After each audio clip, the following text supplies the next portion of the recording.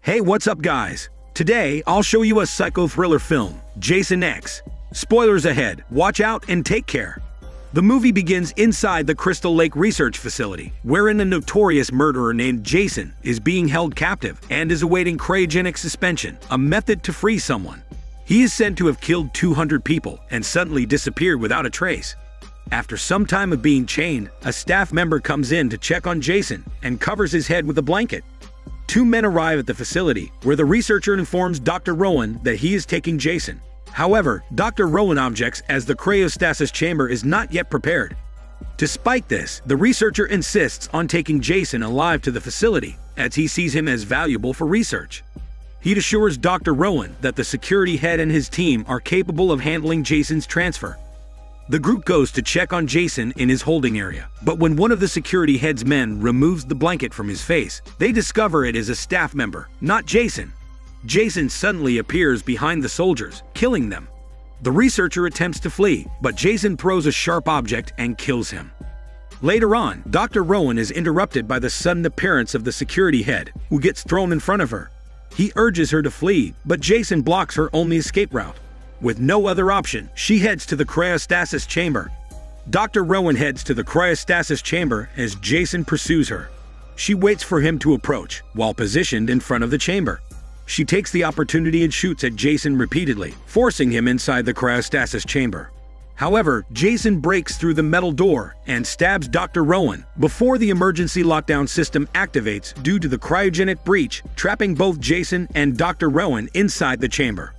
400 years later, Professor and his team search the old cryostasis chamber and discover a unit manufactured in 2010. Upon opening the chamber, they find the frozen body of a man wearing a hockey mask. They also come across the body of a woman, which a crewman alerts the team to. A modified android named Kay examines the woman's body and determines that she can still be revived. The team decides to bring her back to their ship for treatment. The team safely returns to their ship, and the pilot informs a surgeon that they have discovered two viable bodies in deep cryostasis that can be revived. Surgeon contacts the ship's engineer to prepare for the team's arrival. Upon docking, Professor, Surgeon, and their team immediately begin the process of resuscitating the bodies. Kay reveals that the woman's body has been in cryostasis for 455 years. Later on, Professor tasks an assistant with conducting a full structural scan, logging the bodies, and placing them in stasis. In the lab, Professor directs Kay to begin stabilizing any structural fractures in the bodies. Meanwhile, a researcher is about to observe the other body that was found inside the chamber, with two assistants. However, those two are just causing distraction, making the researcher frustrated and telling them to leave the lab. After they leave, the researcher continues her work to revive the body. She performs the operation and observation on the second body, while Professor and his team successfully revive Dr. Rowan's body using microtechnology. Upon awakening, Dr. Rowan is greeted by Professor and his team, who explain her situation to her. After the successful operation, Professor contacts a higher up in their organization to inform him about the discovery of the two 455 year old bodies, one of which was successfully resuscitated. However, his higher up seems unimpressed and dismisses Professor's explanation. He reveals that the name of one of the bodies is Jason, a notorious murderer from the past, and suggests that he could be valuable if sold to the right buyer. On the other hand, the researcher keeps on processing the other body to successfully have it scanned. While doing so, she notices something suddenly moving. She does not pay much attention and goes back to work. The researcher turns her back to the body, only to notice that the body is already missing. Suddenly, the missing body grabbed her sexy face and put it in the liquid nitrogen before smashing it completely. The body that she processed is identified to be Jason, the notorious murderer that Dr. Rowan tried to put in stasis. Meanwhile, Professor and Dr. Rowan discuss their past work at the Crystal Lake Research Facility, where they had attempted to kill their subject, Jason, before finally putting him in cryogenic stasis. Professor introduces Dr. Rowan to his crew, but she becomes alarmed upon learning that Jason has been brought on board. Professor claims that he is already dead and valuable as an artifact, but she insists that they should get rid of him due to his history.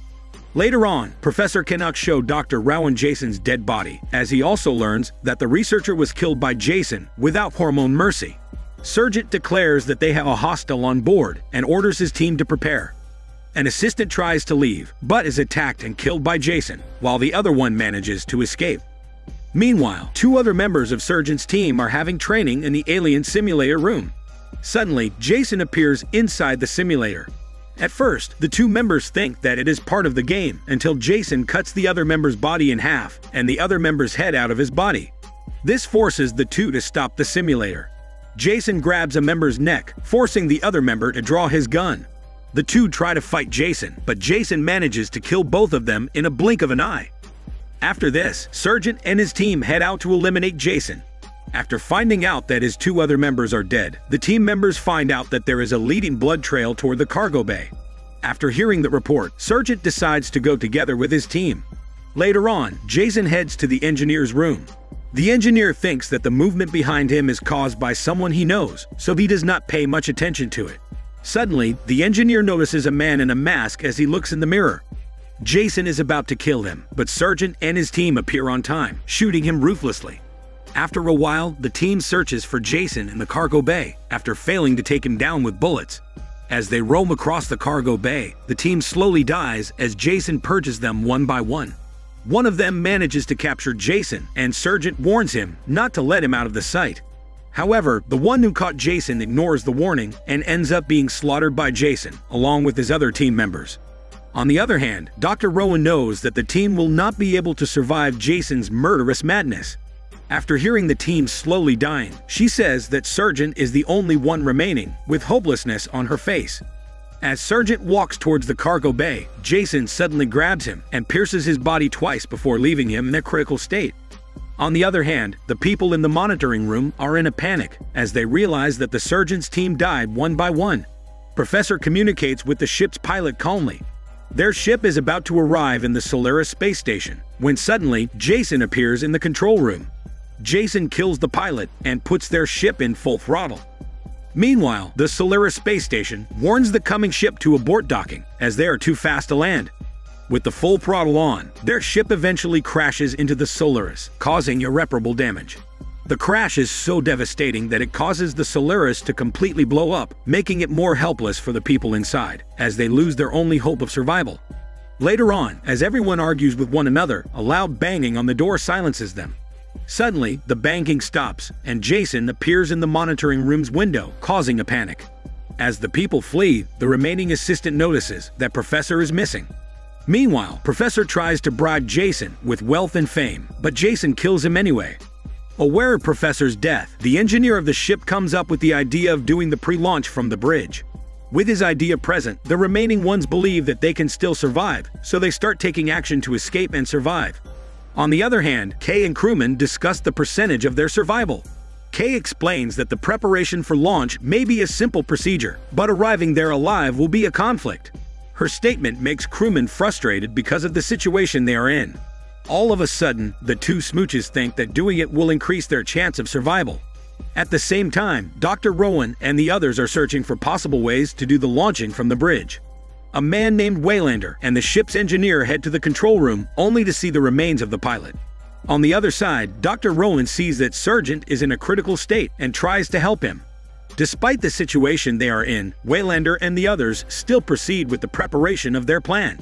With everything under control, the engineer orders Waylander to notify everyone that they are almost finished. Just as the engineer thinks that he's about to go home, Jason appears behind him, with Professor's head stuck on his knife. The others cannot do anything, but just hear the engineer's scream as Jason kills him.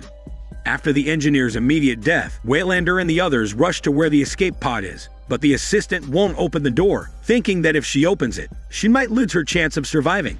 She tries to escape on her own, but unfortunately, the escape pod explodes as the fuel lines are still attached. After that, Jason successfully breaks in on the bridge, putting everyone's back on the wall. Luckily, Kay and crewmen arrive on time. They proudly face Jason as if they can beat him. Jason throws his weapon at Kay, putting her in shock and immobilizing her for a while. As Jason is about to pull out his weapon, Kay grabs him and shoots Jason ferociously. It turns out that Kay is not hurt, as she is just an android. After successfully tricking Jason and catching him off guard, Kay fights him fiercely, giving him a rain of bullets and a storm of kicks. She then decides to put an end to their fight, but Jason is too strong and manages to turn the tables. Fortunately, Surgeon helps Kay, so she immediately takes the opportunity to defeat Jason. Kay holds her dual gun again and ruthlessly shoots Jason. Using her gun, she manages to break the wall that leads to the laboratory, where Dr. Rowan was resuscitated. She then decides to end the fight by blowing Jason's limbs and head to make sure that he will not get up again. As they all think Jason is already dead as shit, everyone calmly proceeds to aid Surgeon and process their transportation. After some time, another ship receives the distress signal from their beacon and asks them if they need assistance. Although they will have the rescue ship's assistance, Waylander knows that they're going to have a core implosion in less than 30 minutes, and that implosion will only cause the rescue ship to fall together with them. Knowing of the present dilemma, Dr. Rowan comes up with a solution for disconnecting the walkways. But Surgeon says that could blow it up. With that being said, everyone is hoping that the plan will work out. Unbeknownst to everyone, Jason is lying on the operating table, where Dr. Rowan was resuscitated. Suddenly, the monitors and operating pad scan Jason's body, just like what happened to Dr. Rowan, after scanning the body, the microtechnology that helped her recover is now helping Jason to repair his body cells and tissues.